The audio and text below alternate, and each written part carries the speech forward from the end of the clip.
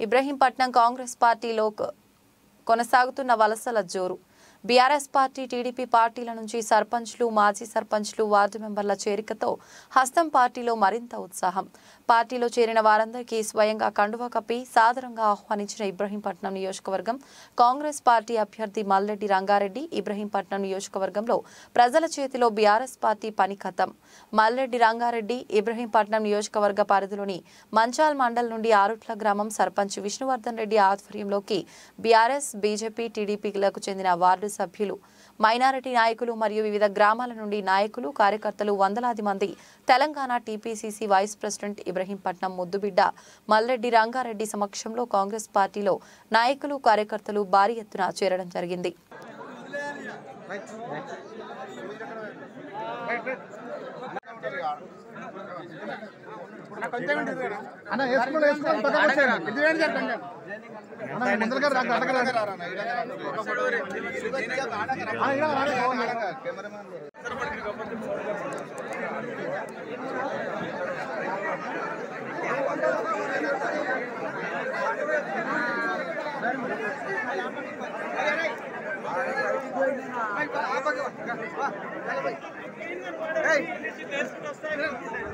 వేసుకోండి పక్కకు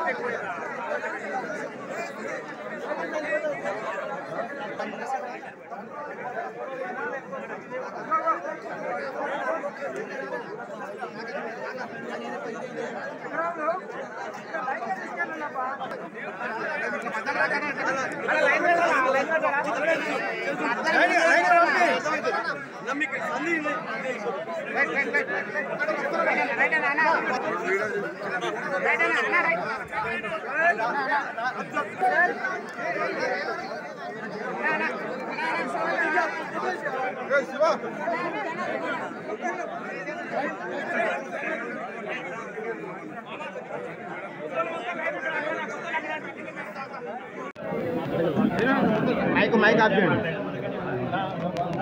mic off చేయండి అమ్మా ఈడ ఈడ చేస్తాయి ఈరోజు పెద్ద ఎత్తున ఇబ్రాహీంపట్నం నియోజకవర్గంలో ఉన్నటువంటి గ్రామాల నుంచి వివిధ పార్టీల నుంచి సర్పంచులు ఎంపీటీసీ సభ్యులు మాజీ సర్పంచులు మాజీ ఎంపీటీసీలు కో మాజీ కోఆప్షన్ సభ్యులు ప్రస్తుత వార్డు సభ్యులు సింగిల్ విండో డైరెక్టర్లు నాయకులు కార్యకర్తలు మాజీ జెడ్పీటీసీ సభ్యులు ఊనా నాయక్ గారు పెద్ద ఎత్తున కార్యకర్తలు ఈరోజు మల్రెడ్డి గారి సమక్షంలో కాంగ్రెస్ పార్టీలో చేరడం జరిగింది. ముఖ్యంగా మేమందరము కాంగ్రెస్ పార్టీలో చేరడానికి ఏకైక కారణం ఏంటంటే భారతదేశంలో అనేక రాజకీయ పార్టీలు ఉన్నాయి. ఆ పార్టీలు కులానికో మతానికో ప్రాంతానికో సంబంధించిన పార్టీలు. భారతదేశంలో ఉన్నటువంటి ఏకైక పార్టీ అన్ని కులాలు మతాలను అన్ని వర్గ ప్రజలను మమేకం చేసుకొని గుండెల్లో దాచుకొని వారి అభ్యున్నతికి పాటుపడే ఏకైక పార్టీ కాంగ్రెస్ పార్టీ. అదేవిధంగా ఈ దేశానికి స్వాతంత్రం తెచ్చిన పార్టీ కాంగ్రెస్ పార్టీ. తెలంగాణ ప్రజల యొక్క ఆకాంక్ష నెరవేర్చడం కోసం తెలంగాణ రాష్ట్రం ఇచ్చింది కాంగ్రెస్ పార్టీ. తెలంగాణ రాష్ట్రం ఇచ్చిన తర్వాత ఈ పది సంవత్సరాల కాలంలో ప్రజల యొక్క ఆకాంక్షలు నెరవేర్చడంలో కేసీఆర్ పూర్తిగా వైఫల్యం చెందిండు. ఆనాడు తెలంగాణ ఉద్యమంలో ఎంతోమంది ఆ ఉద్యమం ఉవ్వెత్తున లేపింది కాంగ్రెస్ పార్టీ. పేరు చెప్పుకుంది కేసీఆర్ అనేటువంటి ఒక దుర్మార్గుడు. కానీ ఈరోజు తెలంగాణ వచ్చినాక పేదలకు ఒరగబొట్టిందేమీ లేదు. ఒక ఇల్లు కట్టియలేదు. ఒక కొత్త రేషన్ కార్డు ఇవ్వలేదు. ఒక కొత్త కార్యక్రమాన్ని తీసుకోలేదు. కానీ మనందరి మీద ఐదు లక్షల కోట్ల రూపాయల అప్పు చేసి మన ధరలన్నీ పెంచి ఈరోజు పేదవాళ్ళ జీవితాలతోని చెలగాటమాడుతున్నటువంటి ఈ ప్రభుత్వం ఒకవైపు. ఇక్కడ ఉన్నటువంటి ఎమ్మెల్యే ఇక్కడ ఉండేటువంటి ఎమ్మెల్యే అనేటోడు పోయినసారి ఓడిపోయిండు. పేద ప్రజలంతా నన్ను గెలిపించిండ్రు. ఓడిపోయిన తర్వాత నాకు ఆ రోజు కాంగ్రెస్ పార్టీ అలయన్స్లో తెలుగుదేశం పార్టీకి ఇచ్చింది.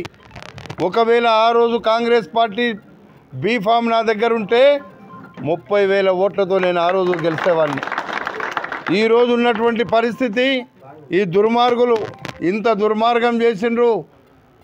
మొట్టమొదట ఇబ్రాహీంపట్నంలోనే కసి కసితోని యువకులు పెద్దలు నాయకులు వివిధ పార్టీల వాళ్ళు ఆఖరుకు టీఆర్ఎస్ పార్టీలో రోజు వాళ్ళు ఎంబడి తిరిగేటోళ్ళు కూడా అన్నా మావోడు పెద్ద దుర్మార్గుడు నిన్నే గెలిపిస్తామని ఈరోజు చెప్తున్నారంటే మీరు అర్థం చేసుకోండి. చాలా విషయాలు విష్ణు చెప్పిండు. అందుకే నేను ఆ విషయాలు చెప్పకుండా ఈరోజు మీరు ఒక్కటే ఒకటి ఆలోచించండి. మన జీవితాలతో చెలగాటమాడుతున్న ఈ ప్రభుత్వమే కాదు ఇక్కడ ఉండేటువంటి కిషన్ రెడ్డి. నేను మొన్ననే ఒకసారి లోయపల్లి మంచాల మండలంలో అంబోత్తండ మన మనకు ఉండేటువంటి అక్కడ బండలేమూరు గ్రామాలకు సంబంధించిన రైతులంతా నా దగ్గర వస్తే పదహారు వందల ఎకరాల భూమిని మంచాల మండలంలో ఉండేటువంటి భూమిని రైతులు ఈడీ కేసులకెళ్ళి బయటికి తెచ్చుకుంటే గద్దల్లాగా ఆలిపోయి కొట్టేయాలని చూస్తుంటే నేను వెళితే పారిపోయినటువంటి విషయాన్ని మీరందరూ చూసిండ్రు. అయ్యా కొడుకులు ఒకరికొకరు తిట్టుకున్నాడు. అరే నువ్వు ఎందుకు పోయినావురా అక్కడ? నాకు ఊర్లన్నీ ఆగమైపోయినాయి అని ఆ రోజే చెప్పిండ్రని వాని దగ్గర ఉండేటోళ్ళే నాకు చెప్పిండ్రు. అంటే వాళ్ళు దుర్మార్గం పనులు చేసింది కూడా అర్థమైపోయింది వాళ్ళకే. ఈరోజు నేను ఎన్నో మాటలు చెప్పిన. కానీ ఇక ఎన్నికలప్పుడు ఒకటే చెప్తున్నా. నువ్వు ఐదు పదిహేను సంవత్సరాలు ఇక్కడ ఎమ్మెల్యేగా. ప్రజల మద్దతు లేకున్నా ఎమ్మెల్యే అయినావు. ఒకసారి దేవేందర్ గౌడ్ వచ్చిండు ఎమ్మెల్యేగా గెలవగలిగినావు. మధ్యలో నేను పోటీ చేయకుండా మహేశ్వరం పోయినా నువ్వు అక్కడ గెలవగలిగినావు. మొన్న ఇండిపెండెంట్గా పోటీ చేస్తే కూడా ఇబ్రాహీంపట్నం పేద ప్రజలందరూ కూడా నాకు మద్దతు ఇచ్చిండ్రు. అందుకే ఈరోజు ఇబ్రాహీంపట్నం పేద ప్రజలు నాయకులు కార్యకర్తలు ఇప్పుడు వచ్చిన మీరందరూ కూడా